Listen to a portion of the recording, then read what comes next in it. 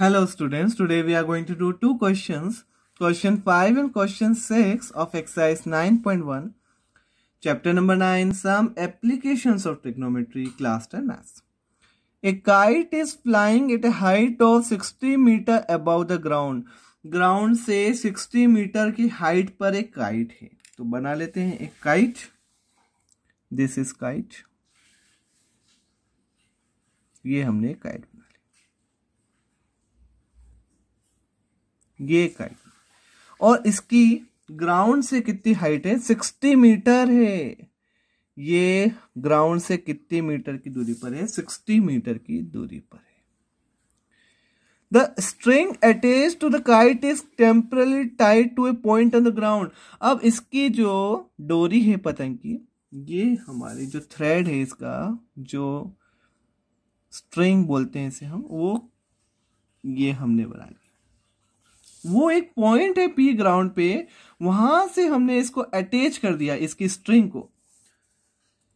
The inclination of the string with the ground is sixty और inclination कितना हो रहा है? यहाँ से अगर देखें तो 60 डिग्री का इंक्लिनेशन हो रहा है। ये जो एंगल बन रहा है, वो 60 डिग्री के इंक्लिनेशन पे, यहाँ इस पॉइंट पे बाँध दी हमने इस काइट को। ये काइट को हमने क्या कर दिया है? यहाँ इस पॉइंट से अटैच कर दिया।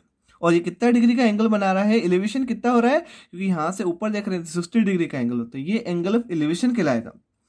Find the length of the string assuming there is no slack in the string और हमें निकालना क्या है? We need to find out कि ये लेंथ निकालनी है स्ट्रिंग की। इसको एक्स ले लेते हैं, ये हमें निकालना है, ये डिस्टेंस निकालनी है हमें।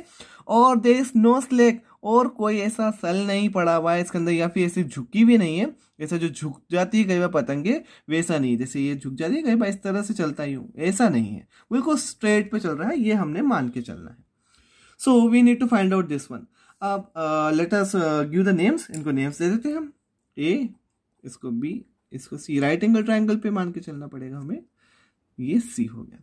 तो in right triangle in right angle triangle कौन सा ले लेते हैं? ए बी सी और इस राइट एंगल ट्राइंगल में एंगल बी नाइनटी है। Right angle at right angle triangle ABC right angled at कहाँ पर राइट एंगल है? बी पर। A C let A C B the length of string ये A C हमने मान ली लेंथ ऑफ़ स्ट्रिंग स्ट्रिंग इस रस्सी की लेंथ हमने कितनी मान ली? एक्स मान ली। A C equals to x now what is given to us or what we need to find out? हमें क्या गिवन है? हमें ये दे रखा है सिक्सटी और हमें ये निकालना है। तो इन दोनों का रेशियो लो। दो तरीके से ले सकते हो। या तो ए सी अपॉन बी सी ले सकते हो, या बी सी अपॉन ए सी ले सकते हो। कुछ भी ले सकते हो। दोनों तरीके से आंसर आएगा। चाहे आप दिस अपॉन दिस लो या सिक्सटी अपॉन एक्स लो। तो आपको जो अच्छा है, और थीटा आपका कितना हो गया? सिक्सटी डिग्री हो गया। तो इन दोनों का रेशियो क्या आता है? अगर मैं थीटा के रेस्पेक्ट में ये और ये का रेशियो लेता हूँ तो ये होगा हमारा परपेंडिकुलर और ये हुआ हाइपोटेन्यूस तो साइन कहलाएगा? Sine theta equals to A B C upon A C sine theta यानी साइन सिक्सटी बी सी कितना है? सिक्सटी है और ए सी कितना है? एक्स है.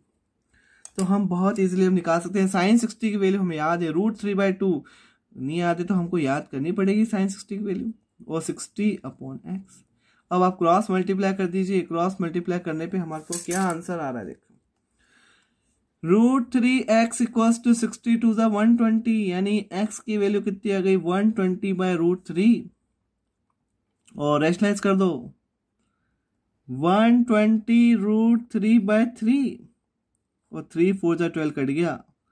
और आंसर आ गया फोर्टी रूट थ्री और फाइनली हमारे पास क्या आंसर आ गया? फोर्टी रूट थ्री आंसर तो ये हो गई हमारी एक्स की लेंथ आ गई, ये एक्स आ गया हाइट आ गई, किसकी हाइट आ गई? ये स्ट्रिंग की लेंथ आ गई हमारे पास. तो now will do another question number six कर लेते हैं इसके बाद. Let's see what this question A 1.5 meter tall boy is standing at some distance from a 30 meter tall building. एक 30 मीटर की टॉल बिल्डिंग है और बना लेते सबसे पहले एक थर्टी मीटर की टॉल बिल्डिंग। ये हमने सबसे पहले मेन आपका फिगर बनाना है आपको। अगर आपने डायग्राम बना लिया तो आपका हाफ़ क्वेश्चन सोल्व हो गया। और एग्ज़ाम में भी आपकी क्या होगा कि इफ़ यू नो डायग्राम तो आपको हाफ़ मार्क्स तो डायग्राम के मिल ही जाएँगे। अगर फोर मार्क्स का क्वेश्चन है, अगर डायग्राम आपने करेक्ट बनाया है तो two marks will get so now अब आप देखिए कि 1.5 metre tall boy standing at some distance from a 30 metre tall building, ये हमारी 30 मीटर की टॉल बिल्डिंग हो गई। और 1.5 मीटर की टॉल बॉय है यहाँ से। सम डिस्टेंस पर, कुछ डिस्टेंस पर है, वो हमें मालूम नहीं है, कुछ डिस्टेंस पे यहाँ पे एक बॉय खड़ा हुआ ये बॉय बना लेते ऐसी रफ डायग्राम बना लेते और यहाँ से यहाँ से क्या हुआ? 1.5 मीटर, ये है 1.5 मीटर का बॉय है। 1.5 metre. Now the angle elevation from his eyes अब इसकी आईज से और to the top of the building increase from 30 to 60 as he walks towards the building पहले तो एंगल ऑफ़ एलिवेशन कितना है यहाँ से आइस से अगर देखते हैं तो एलिवेशन बन रहा है 30 डिग्री यहाँ से इसकी आइस से और अगर वो आगे बढ़ता है और बढ़ते आज चलता है और थोड़ी दूर आगे गया और यहाँ पे आया वो यहाँ पे आ गया और यहाँ पे आने पर उसका एंगल एवल्यूशन यहाँ कितना हो जाता है? ये थर्टी डिग्री है। यहाँ पे वो थर्टी डिग्री एंगल एवल्यूशन है और अब वो आगे गया। आगे जाने पर एंगल एवल्यूशन घट गया बढ़ गया और जैसे जैसे अपन बढ़, आगे जाते हैं, वैसे वैसे अपन को एलिवेशन बढ़ता जाएगा। तो ये कितना हो गया? सिक्सटी डिग्री है अब। अब कितना डिग्री हो गया? ये सिक्सटी डिग्री हो गया। देखिए, अगर हम ये चलते हैं और दो दूर रहेंगे तो एंगल कम होता जाएगा और पास आ जाएँगे तो ये देखो, अगर यहाँ पे कितने डिग्री का एंगल होगा? नाइन्टी डिग्री का। अगर स्ट्रेट अपन खड़े हो गए तो यहाँ पे नाइन्टी डिग्री का होगा। तो जैसे आज से आगे बढ़ जाएँगे, वैसे एलिवेशन बढ़ता जाएगा। तो now what we need to find find the distance he walked towards the building तो वो कितनी डिस्टेंस गया ये? वो कितनी डिस्टेंस गया? यह हमें निकालना है एक्स निकालना है हमें। तो ए ये बी ये सी देते हैं और ये देते हैं हम डी तो we need to find C D अब हमें सी डी निकालना है. तो let's find out C D निकाल लेते हैं इजीली अब हमें क्या गिवन है? इसको एक्स देते हैं तो इसको वाई दे देते हैं. इसको हम वाई दे देते हैं. ठीक है? और ये ninety degree ninety degree Pythagoras theorem right angle triangle मानेंगे इसको. और one point five metre tall boy है तो थर्टी तो ये ये डिस्टेंस पूरी थर्टी थी. यहाँ से यहाँ तक थर्टी थी. तो ये डिस्टेंस कितनी हो गई? ए बी सी डी और ये ई एफ़ दे देना पड़ेंगे हमको। ये देते हम ई e और इसको देते हैं हम एफ़ और ये हमने ई एफ़ भी दे दिया इसको देखिए। अब क्या होगा? ये डिस्टेंस थर्टी है पूरी तो यहाँ से डिस्टेंस कितने हो गए? ए बी निकालते पहले। तो ए बी हमारे पास कितना हो जाएगा? Thirty minus one point five क्योंकि हमें बॉय की हाइट माइनस कर देनी है। तो आ जाएगा हमारे पास ट्वेंटी एट पॉइंट फाइव ये ए बी आ गया हमारा ट्वेंटी एट पॉइंट फाइव ये डिस्टेंस आ गई twenty eight point five metre now consider this triangle अब हमें ट्राइंगल कंसिडर करते हैं पहले A B C first of all हम कौन सा ट्राइंगल कंसिडर कर रहे हैं? ए बी सी ये वाला ट्राइंगल कंसिडर करते हैं। दो ट्राइंगल कंसिडर करना पड़ेंगे इसके अंदर और दोनों से ही तभी आंसर आएगा।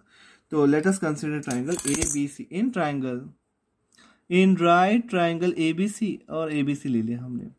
अब इन दोनों रेशियो जो गिवन है और जो लाना है। तो ये वाई लाना है पहले हमें। तो इन दोनों का रेशियो क्या कहलाएगा?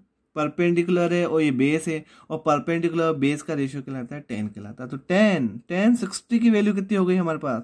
टेन सिक्सटी हो गया twenty eight point five by y tan sixty कितना होता है? Root three root three equals to twenty eight point five by y तो इससे वाई निकल के आ जाएगा हमारे पास। तो वाई की वैल्यू कितनी आ गई? देखो वाई आ गया twenty eight point five upon root three ये वाई आ गया और इसको रेशनलाइज कर लेते हैं। हमेशा की तरह रेशनलाइज करना ही हमें।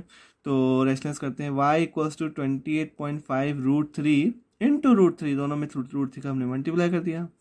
तो कितना आया? Twenty eight point five root three by नीचे कितना हो गया? थ्री थ्री नाइन जा ट्वेंटी सेवन थ्री फाइव जा फिफ्टीन तो वाई की वैल्यू आ गई nine point five root three मुझे तो एक्स निकालना है।